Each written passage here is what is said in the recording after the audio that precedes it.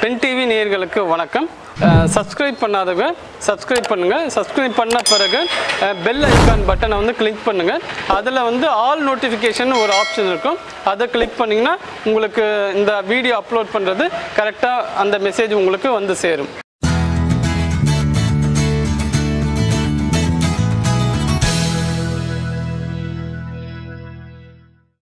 வணக்கம் நேர்களே நலமறிய நிகழ்ச்சிக்கு உங்களை வரவேற்கிறேன்.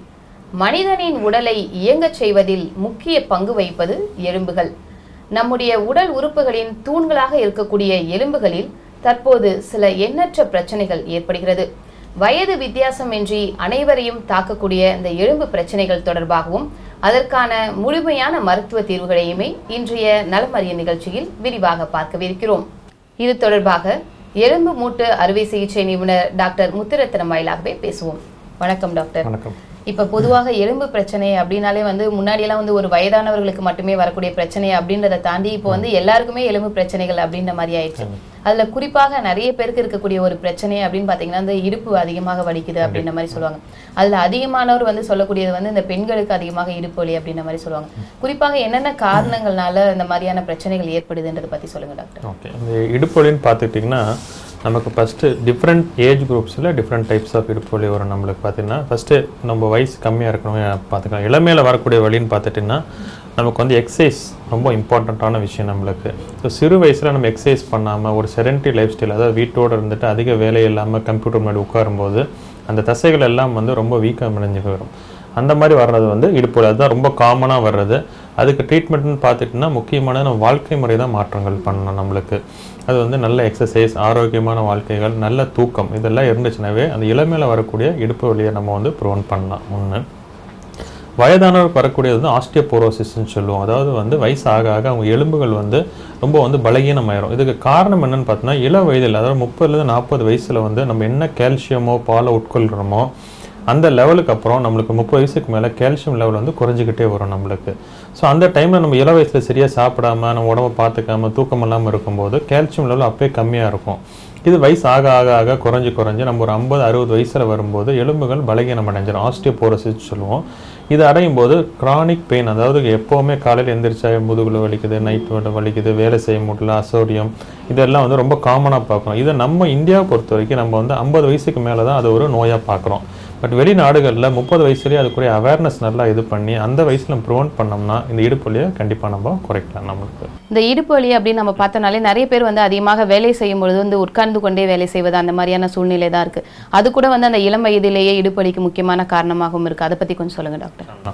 அதான் நம்ம பாருங்கள் இப்போ வந்து இந்த சாஃப்ட்வேர் இண்டஸ்ட்ரீஸ் வந்து நிறையா வந்தனால இந்த ஒர்க் டைப் அதாவது உட்காந்த இடத்துலயே வந்து கம்ப்யூட்டர் முன்னாடி வேலை செய்யக்கூடிய ஜாபுகள் வந்து அதிகரித்துள்ளது. பழைய காலம் மாதிரி ஒரு லெஜர் ஒர்க்கோ மேலே போய் எடுத்துகிட்டு வர்றது கீழே போய் இறங்கக்கூடிய வேலை இல்லாமல் ஏசி ரூமில் அதிக நேரம் ஒரே நேரம் ஒரே பொசிஷனில் நம்ம பார்க்கும்போது அந்த தசைகள்லாம் முன்னாடி சொல்ல மாதிரி கழுத்துலையும் சரி இடுப்புலையும் சரி அதெல்லாம் வீக்கம் அடைந்து ப்ளஸ் ரொம்ப வீக்காகி போயிடுது நம்மளுக்கு. அதோட பலங்கள் குறைந்துள்ளது. மேலும் காலையிலேருந்து இருக்கிறப்போ உங்கள் மைண்டும் ஸ்ட்ரெஸ் ஆகிற பட்சத்தில் அந்த ஸ்ட்ரெஸ் எல்லாமே பேக் அல்லது இடுப்பு வழியாக தான் நமக்கு வெளிவருகிறது. ஸோ இது நம்ம ப்ரிவென்ஷன் அப்படின்னு பார்த்துக்கிட்டிங்கன்னா இதை வந்து அந்த டைப் ஆஃப் பீப்புள் வந்து கண்டிப்பாக ஸ்போர்ட்டிங் ஆக்டிவிட்டீஸ் வந்து இன்வால்வ் ஆகணும். ஒன்று அதாவது வாரத்துக்கு ஒரு முறை அதாவது ஏதோ ஒரு விளையாட்டுத்தன்மை கிரிக்கெட்டோ டென்னிஸோ அவங்க இது பண்ணணும். தினமும் காலையில் எழுந்திரிச்சு நல்ல பிரிஸ்க் வாக்கிங் பெரிய எக்ஸசைஸ் பண்ண முடியவில்லை என்றாலும் காலையில் எழுந்திரிச்சு ஒரு வாக்கிங் பண்ணி அந்த மசில்ஸ் எல்லாம் நம்ம பழைய டோனுக்கு வருது ரொம்ப இம்பார்ட்டன்ட் அப்புறம் ஃப்ரீக்வெண்ட் பிரேக்ஸ் அதாவது நம்ம வந்து ஒரு வேலை செஞ்சோம்னா தொடர்ச்சியாக எட்டு மணி நேரம் ஷிஃப்ட்டில் கண்டிப்பாக அதையே உத்து கவனித்துட்டு இருந்தால் கண்டிப்பாக இடுப்பலி வரக்கூடிய வாய்ப்பு உள்ளது. ஸோ அவங்க என்ன பண்ணணும்னா எவ்ரி ஒன் ஹவர் ஒன்ஸ் வந்து அவங்க உடம்ப வந்து ஸ்ட்ரெச் பண்ணிக்கிட்டு அந்த எக்ஸசைஸ் சிம்பிள் எக்ஸசைஸ் பண்ண மூலமாக இந்த வலி வந்து வராமல் நம்ம ப்ரிவெண்ட் பண்ணலாம். மூன்றாவது காரணம்னு பார்த்துக்கிட்டிங்கன்னா இந்த மாதிரி எக்ஸசைஸ் நம்ம ரெகுலராக பண்ணும்போது அந்த மசில்ஸ் வந்து நம்மளுக்கு வந்து நல்லா ஸ்ட்ராங் ஆயிரும் வலிகள் வராமையும் தடுக்கலாம். அதுக்கப்புறம் என்னென்னா இந்த முக்கியமான சாஃப்ட்வேர் இன்ஜினியர்ஸ் அவங்க தொழிலில் பார்த்தீங்கன்னா ட்ராவல் அதாவது காலையில் ஆரம்பித்து முப்பது கிலோமீட்டர் நாற்பது கிலோமீட்டர் அவங்க ட்ராவல் பண்ணுறாங்க இந்த மாதிரி ட்ராவல் பண்ணும்போது ப்ராப்பர் எக்ஸசைஸ் ஸ்டோன் எல்லாம் மசில்ஸ் எல்லாம் இதாகும் அந்த இடுப்பில் சொல்லக்கூடிய டிஸ்க் எனக்குடைய பகுதி வந்து வீக்கம் அடையக்கூடிய வாய்ப்பு ரொம்ப உள்ளது. அது ஒரு சாதாரண மேக்க மிஷின் மாதிரி தான். அது ரொம்ப நம்ம ஒர்க் கொடுக்கும்போது அதோடைய த ஈரத்தை தண்ணி பசைகள் வந்து குறைவதனால் அது போய் நிரம்ப இழுத்து அந்த டிஸ்க் ப்ரொலாப்ஸ் என்பது இப்போ ரொம்ப அடிக்கடி நிறைய பேஷண்ட்ஸுக்கு பார்க்குறோம். இது வந்து ஒரு ஐம்பது வயசு நாற்பது வயசில் வரக்கூடியது. இருபத்தஞ்சு முப்பது வயசுலேயே இந்த மாதிரி பேஷண்ட்ஸுக்கு வர ஆரம்பிக்குது. ஸோ இதெல்லாம் பார்த்தீங்கன்னா நம்ம லைஃப் ஸ்டைல் மாடிஃபிகேஷன் நல்லா ஆரோக்கியமான சாப்பாடு தூக்கம் எக்ஸசைஸ் ட்ராவலை வந்து அளவாக குறைச்சிக்கிறது. அப்புறம் வந்து நம்ம ஆஃபீஸில் ஃப்ரீக்வெண்ட்டாக எவ்ரி ஒன் ஹவர் ஒன்ஸ் நல்லா ஸ்ட்ரெச் பண்ணி எக்ஸசைஸ் பண்ணுறது இதெல்லாம் பண்ணுவதன் மூலம் நம்ம இது பண்ணிக்கலாம். அதுக்கப்புறம் அந்த கம்ப்யூட்டர்ஸ் முன்னாடி இருக்கிறது அவங்க ஐசைட் லெவலுக்கு நேராக இருக்கணும். ப்ளஸ் அவங்க பாதங்கள் நல்லா ரெஸ்ட் ஆகணும். இடுப்பு வந்து நல்லா சப்போர்ட்டிவான சேர்ஸ் இதெல்லாம் பண்ணும்போது அந்த இடுப்பு வலியை நம்ம வந்து நம்ம கண்டிப்பாக அதை வந்து ப்ரோன் பண்ணலாம் நம்மளுக்கு. இந்த இடுப்பு வலி வருவதற்கான காரணங்கள் அந்த இதெல்லாம் பற்றி சொன்னீங்க டாக்டர். குறிப்பாக வந்து இந்த இடுப்பு வலி அப்படின்னு நம்ம பார்த்தாலே வந்து இந்த பெண்களுக்கு வரக்கூடிய இடுப்பு வலியை பார்க்குற மாதிரி தான் இருக்குது ஏன்னா நிறைய பேருக்கு வந்து இந்த குழந்தை பிறந்த உடனே வந்து அதிகமானோர் வந்து சொல்லக்கூடிய ஒரு பெரிய பிரச்சனை வந்து இடுப்பு வலி அதிகமாக இருக்குன்னு சொல்லி சொல்கிறாங்க அதில் வந்து இந்த அறுவை சிகிச்சை அப்படின்னு சொல்லி அதன் மூலமாக குழந்தை பெற்றுக்கொள்ளக்கூடிய பெண்களுக்கு தான் வந்து இது அதிகமாக இருக்குது அதாவது அது வந்து அந்த பின்னாடி போடக்கூடிய அந்த முதுகில் போடக்கூடிய அந்த இன்ஜெக்ஷனால தான் இருக்குன்ற மாதிரி சொல்கிறாங்க குறிப்பாக நமக்கு அந்த அறுவை சிகிச்சையின் போது போடக்கூடிய அந்த ஊசிக்கும் இந்த இடுப்பு வலிக்கும் தொடர்பு இருக்கான்றதை பற்றி சொல்லுங்க டாக்டர். நம்ம பார்த்தோன்னா அதாவது ப்ரெக்னென்சிக்கு அப்புறம் வந்து இடுப்புலிங்கிறது எல்லா லேடிஸ்க்கும் ரொம்ப காமனாக இருக்கக்கூடிய விஷயமா இருக்குது. இதுக்கு நம்ம காரணங்கள்னு பார்த்துட்டிங்கன்னா ஒன்று வந்து ப்ரெக்னென்சிக்கு அப்புறம் நம்மளுக்கு வந்து எல்லாம் ஒரு குழந்தையை பார்த்து அந்த ஆர்வத்திலே குழந்தையை வளர்க்குறதும் ப்ளஸ் உடம்புக்கு நல்ல ஆரோக்கியமான ஃபுட் எடுத்துக்கணுங்கிற பட்சத்தில் உடல் பருமன் வந்து எல்லா லேடிஸும் வந்து அந்த டைமில் கூட வந்து உடல் பருமன் போட்டுறாங்க. ஸோ இதுக்கு பார்த்தீங்கன்னா உடல் பருமன் கூடுனாலே இடுப்பொலி வரக்கூடிய வாய்ப்பு வந்து ரொம்ப பல மடங்கு கூடுகிறது ஒன்று. ஸோ ப்ரெக்னென்சிக்கு அப்புறம் வந்து இமீடியட்டாக வந்து ஒரு கைனகாலஜிஸ்ட் அவங்க டியூட்டி என்னென்னா அவங்கள ஒரு போஸ்ட் எக்ஸசைஸ் ஸ்டார்ட் பண்ணக்கூடிய ரெஜிம் வந்து அந்த குழந்தை டிஸ்சார்ஜ் ஆகும்போது அவங்களுக்கு எப்போ எக்ஸசைஸ் ஸ்டார்ட் பண்ணலாம் என்னென்ன எக்ஸசைஸ் பண்ணணும் அதெல்லாம் ஒரு சார்ட் மாதிரி கொடுத்து அதை அவங்க பண்ணுறாங்களாங்கிறத ஃபாலோ பண்ணுறது வந்து ரொம்ப முக்கியமான ஒன்றாக இருக்குது ஸோ இப்படி அந்த எக்ஸசைஸ் பண்ணோம்னா மோஸ்ட் அபவுட் ஐம்பது பர்சன்ட் வந்து வரக்கூடிய இடுப்பு வலியை நம்ம வந்து ப்ரோன் பண்ணிக்கலாம். ப்ளஸ் எல்லாருமே வந்து என்ன சொல்கிறாங்கன்னா அந்த முதுகில் போடக்கூடிய ஊசியினால தான் எனக்கு வலி வந்துச்சுங்கிறது இருக்குது இது வந்து பழைய காலத்தில் அந்த ஊசியோட சைஸ் திக்னஸ் வந்து கூட இருந்துச்சு. பட் இப்போ மாடர்னாக வரக்கூடிய லெவலில் வந்து அந்த ஊசியின் திக்னஸ் வந்து ரொம்ப மெல்லிதாக இருக்கிறனால அதனால் வரக்கூடிய இடுப்புடையின் வாய்ப்பு வந்து பல மடங்கு குறைந்துள்ளது. ஸோ மெயின் காரணம் என்னென்னா நம்மளுக்கு வந்து போஸ்ட் சர்ஜரி வந்து எக்ஸசைஸ் பண்ணாமல் உடல் பருமன் கூடுவதனால அவங்க மசில்ஸ் எல்லாம் அவ்வளோ ஸ்ட்ராங் ஆகாமல் வரக்கூடிய வழி தான் இது வந்து பல ஸ்கேன்கள் பல இதுகள் எடுத்து பேஷண்ட் வந்து அவங்கள குழப்பிக்கிட்டு இதனால் வலி வலி வலின்னு சொல்லிட்டு பட் அவங்க பார்ட் என்ன பண்ணணும்? அவங்க வந்து உடம்பை குறைக்கணும் பருமனை குறைக்கணும் எக்ஸசைஸை முன்னாடியே ஸ்டார்ட் பண்ணணும். இதெல்லாம் ரெகுலராக பண்ணாங்கன்னா கண்டிப்பாக வந்து இடுப்புல வரக்கூடிய வாய்ப்பு வந்து ரொம்ப குறைவாகவே இருக்கும் நம்மளுக்கு.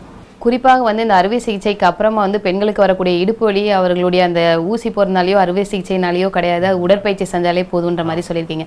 ஆனால் இன்னொரு முக்கியமான விஷயம் வந்து இந்த இடுப்பு வலி அப்படின்ற மாதிரியான பிரச்சனைக்கு குறிப்பாக என்னென்ன மாதிரியான அந்த மருத்துவ முறையில் ட்ரீட்மெண்ட் இருக்குன்றதை பற்றி சொல்லுங்க டாக்டர் அதாவது இடுப்பொலி பார்த்துட்டுனா மோஸ்ட்லாக வந்து ஃபிஸ் அந்த ஃபிசியாலஜிக்கல் பேக் பெயின் அதாவது வந்து நம்ம வந்து ப்ராப்பர் எக்ஸசைஸ் இல்லாதான் அறுபதுலேருந்து எழுபது சதவீதம் வந்து நமக்கு பேக் பெயின் காஸ் பண்ணுது.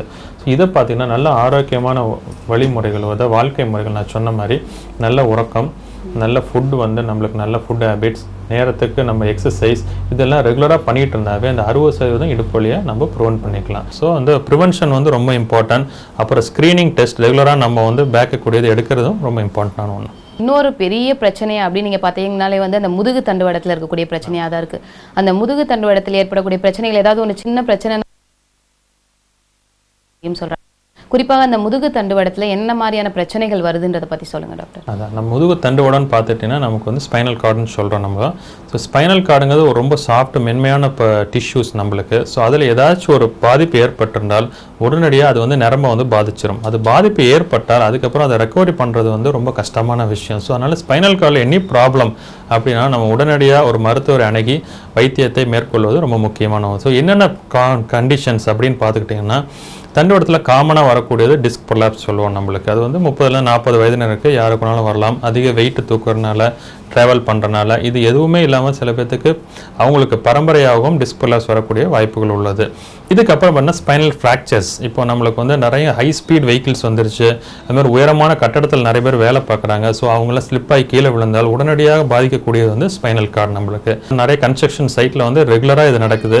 ஸோ பல பேர்த்துக்கு இது கொஞ்சம் நம்ம நேரம் தாழ்த்த அதிகமாக சென்று கூட்டிகிட்டு போனாலோ இல்லை அது பண்ணாலோ நிரந்தரமாக அவங்களுக்கு காலுக்கு கீழே உணர்ச்சிகள் ஏற்ப பாதிப்படையக்கூடிய வாய்ப்புகள் ரொம்ப அதிகமாக உள்ளது நம்மளுக்கு. முதுகு தண்டுவடத்தில் ஏற்படக்கூடிய பிரச்சனைகள் என்னென்ன மாதிரியான பிரச்சனைகள் இருக்குன்றதை பற்றி சொன்னீங்க. குறிப்பாக அந்த முதுகு தண்டுவடத்தில் ஏதாவது ஒரு பிரச்சனை அப்படின்னாலே வந்து இப்போ சாதாரணமாக பொதுமக்களுக்கு இருக்கக்கூடிய ஒரு அச்சம் என்னன்னா இதில் வந்து இந்த அறுவை சிகிச்சைகளோ பொதுவாக இந்த முதுகு தண்டுவட சிகிச்சைகள் அப்படின்னாலே ஒரு அச்சம் தான் இருக்குது ஏன்னா அதன் பிறகு ஏற்படக்கூடிய இந்த பக்க விளைவுகள் வந்து ஏராளமாக இருக்குது அப்படின்ற மாதிரியும் சொல்கிறாங்க அது எந்த அளவிற்கு உண்மை? குறிப்பாக இதற்கான சிகிச்சை முறைகள் என்னவாக இருக்குன்றதை பற்றி சொல்லுங்கள் டாக்டர். அதாவது இந்த ச முதுகு தண்டுவடத்தில் சர்ஜரி வந்து மக்களை பொறுத்த வரைக்கும் நிறைய ஃபெயிலியர்ஸ் இருக்குது நீ பண்ணிக்காத நான் பண்ணிக்காதங்கிறது. அது ஒரு உண்மையான விஷயம்தான் நம்மளுக்கு. ஏனென்றால் முதுகு தண்டுவடம் ஸ்பைனல் கார்டில் ஒரு பாதிப்பு ஏற்பட்டிருந்தால் அதோட ரெக்கவரி வந்து வரக்கூடியது வந்து ரொம்ப ஸ்லோவாக இருக்கும். அது சில சமயம் வரும் வராமலும் இருக்கலாம். சர்ஜரி நம்ம எதுக்கு பண்ணுறோம்னா மேலும் அந்த ஸ்பைனல் கார்டு தண்டுவடம் வந்து பழுதடையாமல் இருப்பதற்கு ஆப்ரேஷன் செய்கிறோம். ஸோ கரெக்டான நேரத்தில் கரெக்டான சர்ஜரி பண்ணோம்னா கண்டிப்பாக அவங்களுக்கு ரிசல்ட்ஸ் வந்து நல்லாயிருக்கும் நம்மளுக்கு. ஸோ பயப்படுற அளவுக்கு பழைய கால அளவுக்கு நம்மளுக்கு உயிர் சேதம் உள்ளது ஒரு ஆப்ரேஷன் டைமில் உயிர் போகிறது அதுக்கு இதெல்லாம் அறிவியல் முன்னேற்றத்தின் மூலமாக நல்ல அனஸ்தீசியா டெக்னிக்ஸ் வந்தனால இப்போ அதெல்லாம் ரொம்ப குறைஞ்சிருச்சு. மேலும் எண்டோஸ்கோபிக் டிஸ்கெக்டமின்னு சொல்லக்கூடிய சாவித்துவரை சிகிச்சை மூலமாக நம்ம மினிமலாக பிளட் லாஸ் அதிகம் இல்லாமல் பண்ணுறோம் பழைய காலமாக அதேமாதிரி ஸ்பைன் சர்ஜனாக ஒரு மாதம் ரெஸ்ட் எடுக்கணும். அந்த கான்செப்டும் போயிட்டு இப்போ பேஷண்ட்லாம் ரெண்டு அல்லது மூன்றாவது நாள் அவங்க வீட்டுக்கு இயல்பு நிலைக்கு திரும்பக்கூடிய வாய்ப்புகளும் உள்ளது நம்மளுக்கு. அதனால் பழைய காலம் மாதிரி முதுகு தண்டுவடத்தை ஆப்ரேஷன்னா நம்ம அச்சமுற்று அது வேண்டாம் அப்படின்னு சொல்லிட்டு மாற்று வைத்திய முறைக்கு போகிறத தவிர்த்துட்டு கண்டிப்பாக தேவை இருந்தால் அதை பண்ணிக்கிறது வந்து ரொம்ப இம்பார்ட்டன்ட் விஷயம். ஏன்னா முக்கியமான சொல்லக்கூடிய என்னென்னா கரெக்டான டைமில் ஸ்பைன் சர்ஜரி பண்ணலைன்னா அதுக்கப்புறம் நம்ம வந்து லே ஆகி நிறம பாதிச்சதுக்கப்புறம் எவ்வளோ செலவானாலும் பரவாயில்ல. எங்களுக்கு பண்ணுங்கன்னா அதை பண்ண பண்ணாலும் அந்த நரம்பு வந்து திருப்பி வளர்ச்சி அடையக்கூடிய வாய்ப்பு வந்து குறைஞ்சிக்கிட்டே போயிடுது நம்மளுக்கு. ஸோ கரெக்டான டைமில் சர்ஜரி பண்ணுறதுனால ஒரு பாதிப்பும் இப்போ வந்து ஏற்படுறது கிடையாது.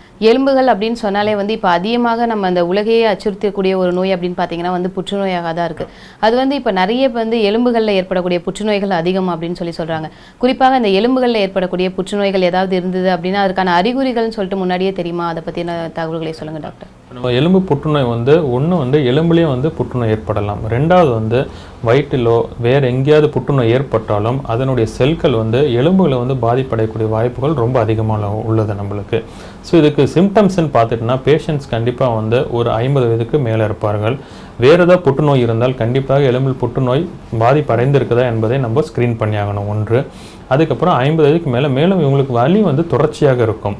முக்கிய வித்தியாசம் என்னென்னால் எலும்பு புற்றுநோய் வலி வந்து நம்ம ஒரு ரெஸ்ட் எடுத்தாலோ அதே மாதிரி நைட்டில் வந்து நார்மலான இடுப்பு வலி வந்து படுத்து எடுத்து எந்திரிச்சால் அந்த வலி குறைந்து விடும் பட் புற்றுநோய் இருந்தால் அது நைட்டு பூரா அவங்களுக்கு வந்து இரவு பூரா வலி ஏற்படும். ஸோ அந்த இரவு வலி அப்படிங்கிறது ரொம்ப முக்கியமான ஒன்று இது இருந்தால் கண்டிப்பாக வந்து புற்றுநோயோ அல்லது கிருமிகளோ இருக்கக்கூடிய வாய்ப்புகள் அதிகம்.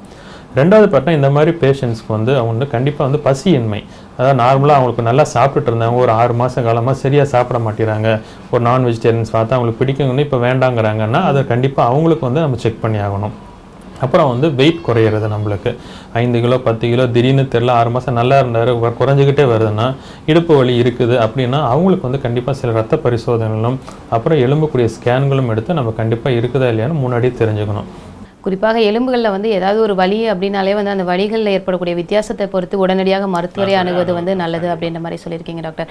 இன்னொன்று வந்து நமக்கு அந்த முதுகு தண்டுவடத்தில் ஏற்படக்கூடிய பிரச்சனை இதை தாண்டி வந்து நிறைய பேருக்கு இருக்கக்கூடிய வந்து இந்த கழுத்தில் வந்து அதிகமாக பிரச்சனை இருக்குது கழுத்து வலி வந்து அதிகமாக இருக்குது அப்படின்ற மாதிரியும் சொல்கிறாங்க குறிப்பாக அதற்கான காரணங்கள் என்னவாக இருக்கின்றது பற்றி. ஸோ கழுத்து வலி என்பது நம்ம இடுப்பு வலிக்கு பார்த்த மாதிரியே நம்ம இள வயதில் அதே மாதிரி எக்ஸசைஸ் சரியா இல்லாமல் அவங்களோட ஒர்க்கிங் கண்டிஷன் எர்கானமிக்ஸ் முன்னாடி நான் எக்ஸ்பிளைன் பண்ண மாதிரி அந்த போஸ்டர் சரியா இல்லாதனால வரக்கூடிய வாய்ப்புகள் ரொம்ப அதிகமாக உள்ளது. மேலும் வயதானவங்க பண்ண செர்விக்கல் ஸ்பான்லோசிஸ்னு சொல்லுவோம் அதாவது இது ஒன்றும் கிடையாது. வயதாகும் போது எலும்புகள் வந்து ஜாயிண்ட்டுகள் தேய்மானம் அடைந்து விடும் அடையும் போது அந்த பிசிறுகள்லாம் போய் நரம்பு தண்டுவடத்தை அழுத்தும் போது அவங்களுக்கு கைக்கு மரத்து போகிற தன்மை வலி ஏற்படும் வாய்ப்பு உள்ளது நம்மளுக்கு. பட் எல்லாமே வந்து நம்ம ஏர்லி ஸ்டேஜ்லேயே வந்து அந்த வந்து இந்த நோயின் தன்மையை நம்ம வந்து கண்டுபிடிக்கலாம் நம்மளுக்கு. அது நாட்பட போயிருச்சு என்றால் நரம்பு பாதிப்பு ஆரம்பிச்சு என்றால் சர்ஜரி பண்ணாதான் நல்லா வரும் நம்மளுக்கு. விபத்துகள் நேரிடும் போது முதலில் பாதிக்கப்படக்கூடியது நமது உடலில் எலும்புகளாகத்தான் இருக்கிறது. அத்தகைய தருணங்களில் நம்முடைய எலும்புகளை பாதுகாப்பது தொடர்பான மருத்துவ முறைகளோடு மேலும் பல அரிய தகவல்களை தற்போது மருத்துவ வாயிலாகவே கேட்போம். விபத்துகள் அப்படின்னு சொல்லி சொன்னா அந்த சாலை விபத்து மட்டும் இல்லாமல் வேற எந்த ஒரு விபத்துனாலுமே வந்து உடனே பாதிக்கப்படக்கூடியது நம்முடைய எலும்புகளாக தான் இருக்கு.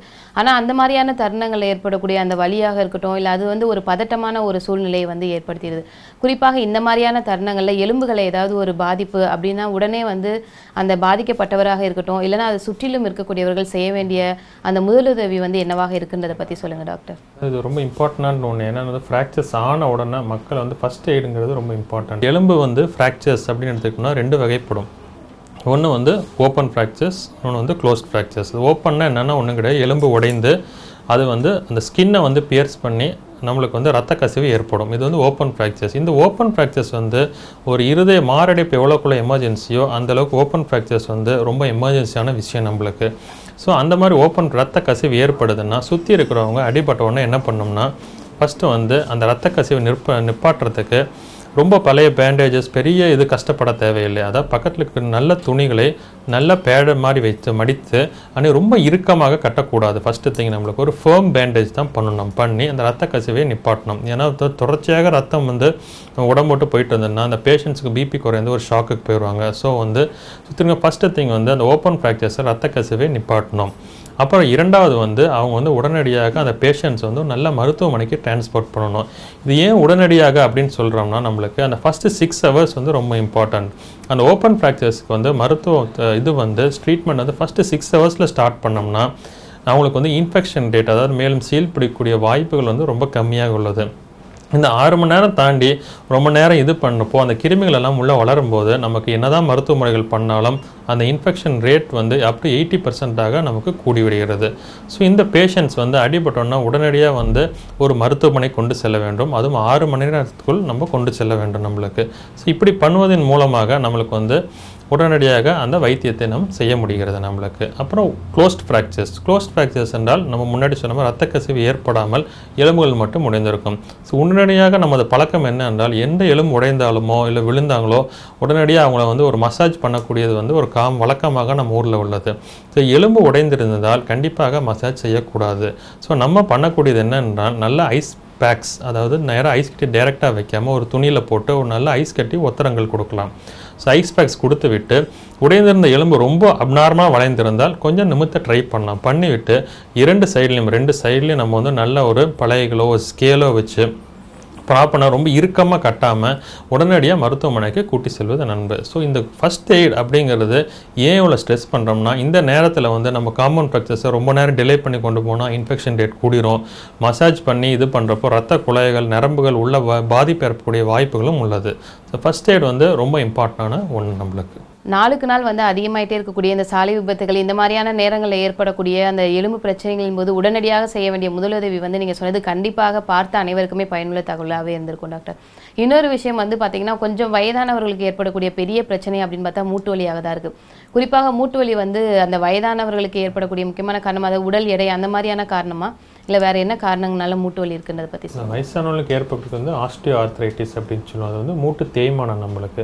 ஸோ மூட்டு தேய்மானம்னு பார்த்துக்கிட்டிங்கன்னா இது ஒரு ப்ரிவென்ஷன் நம்ம முன்னாடி சொன்ன மாதிரி நாற்பது வயசுலேருந்தே நம்ம வந்து கரெக்டாக இருக்கணும். அதிக உடல் பருமன் ஒரு காரணம் நம்மளுக்கு. அப்புறம் அறுபது எழுபது வயசுக்கு மேலே போகும்போது சுத்தமாக தேய்மானம் அடையும் போது மக்கள் வந்து என்னென்னா அது வந்து தொடர்ச்சியாக பெயின் கில்லர் சாப்பிட்டே பழகிடுறாங்க. அந்த பெயின் கில்லர் வந்து உட்கொள்வதை வந்து கண்டிப்பாக நம்ம அவாய்ட் பண்ணி ஆகணும் ஸோ அந்த ஒரு நிலைமை வரும்போது நம்ம என்ன பண்ணலாம் அப்படிங்கிறத வந்து நம்ம யோசிக்கணும். நம்ம ஒரு டாக்டரை பார்த்து இந்த ஸ்டேஜில் மாத்திரை உட்கொள்வது நல்லதா? உட்கொண்டால் நமக்கு பலன் அளிக்குமா? இல்லை வெறும் ஆயின்மெண்ட் தட்டினா பலன் அளிக்குமா? நம்ம வாழ்க்கை முறைக்கு தேவையா? இந்த மூட்டு வலியை பொறுத்துக்கிட்டு வாழலாமா? இல்லை நம்ம இயல்பு வாழ்க்கை எந்த அளவுக்கு பாதிப்பை ஏற்படுத்துகிறது? எல்லாம் எல்லாம் பிளான் பண்ணி இந்த சர்ஜரி பற்றி நம்ம டிஸ்கஸ் பண்ணலாம் நம்மளுக்கு. குறிப்பாக வந்து இந்த எலும்புகளில் ஏற்படக்கூடிய அனைத்து பிரச்சனைகளுக்கான காரணங்கள் மருத்துவ தீர்வுகள் இதெல்லாம் சொன்னீங்க டாக்டர். இன்னொன்று இந்த எலும்புகளில் பிரச்சனையே வராமல் இருக்கணும் அப்படின்னாலும் சரி அதற்கு வந்து உடற்பயிற்சிகள் இதன் மூலமாக சரி பண்ண முடியுமா? இல்லை அதற்கான முன்னெச்சரிக்கையாக நம்ம எப்படி அதை பாதுகாத்துக் கொள்ளலாம்? நம்ம எலும்புகள்ன்றதை பற்றி தகவல்களை சார் இதுக்கு பார்த்தீங்கன்னா நம்மளுக்கு வந்து இள வயதில் அதாவது தேர்ட்டி டுவெண்ட்டி ஃபைவ் தேர்ட்டி இயர்ஸில் நம்ம எப்படி மெயின்டைன் பண்ணுறோமோ அதை பொறுத்து தான் வந்து அறுபது வயசில் நம்ம எலும்புகள் நம்மளுக்கு வந்து வழி வருமா வராதாங்கிறது.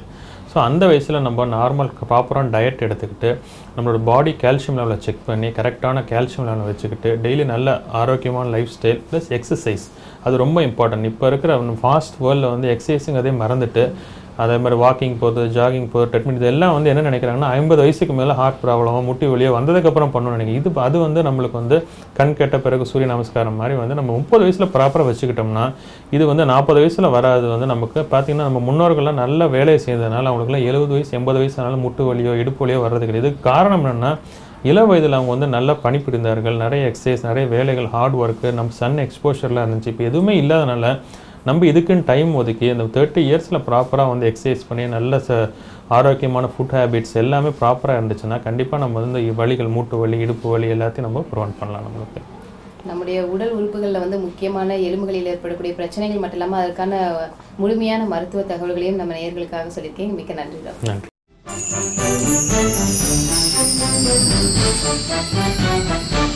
you.